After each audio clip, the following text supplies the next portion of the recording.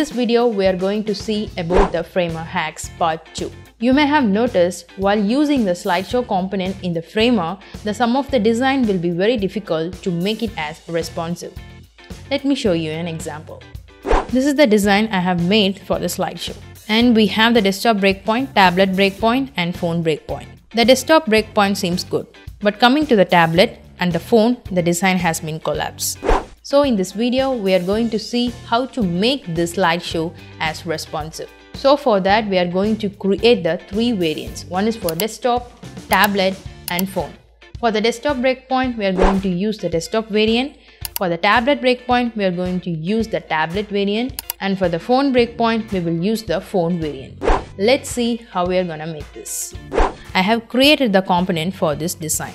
Before that, I have created the slideshow component and I have given the connectivity to this created component. If you want to know how to use the slideshow component, please check out my video of 1 hour framer course. Now we need to create the variant for this component so I'm double clicking on it. So we have a desktop variant. Let's create a tablet variant. And let's rename it as tablet. And let's give the width of it somewhere to 700 and some of the text has been hidden. So in order to make it as visible, I'm giving the width to 50% so it looks good.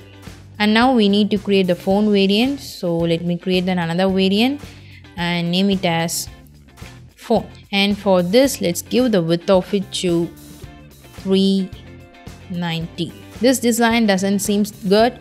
We need to modify it. For it, let me reduce the width and height of this image somewhat like this and make it at the top.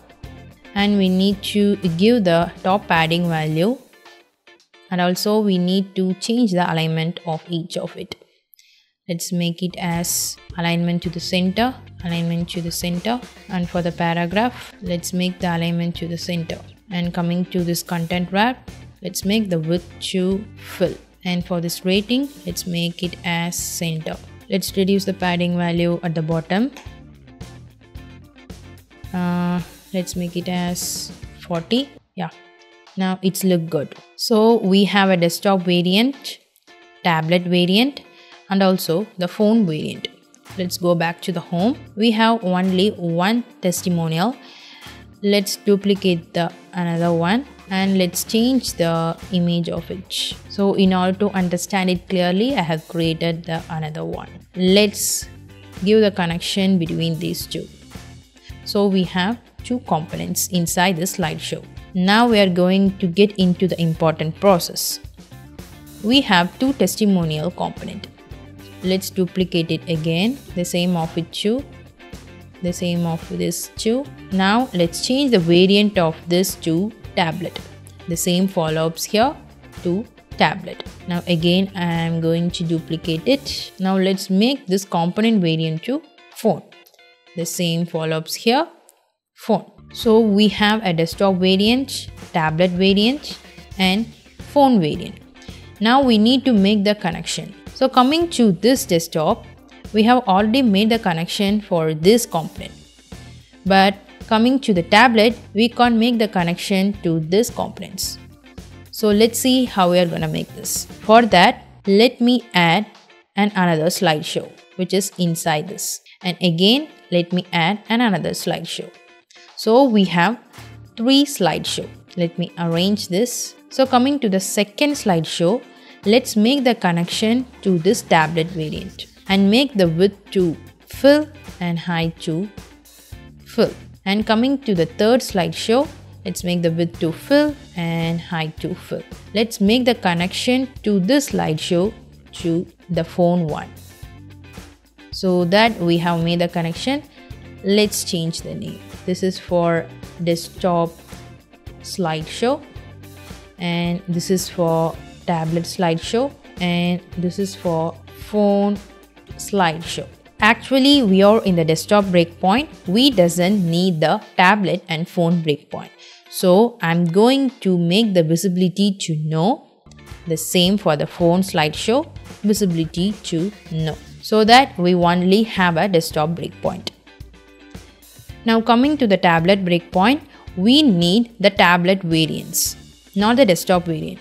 So in order to make that, let me enable this tablet slideshow visibility to S and disable this desktop slideshow visibility to no so that we have enabled the tablet slideshow. But coming to this tablet breakpoint, we notice there is some slight changes in the design. It's because of this height. So let's go to the slideshow wrap. Let me adjust the height. And also we can see we need a sufficient gap at the top.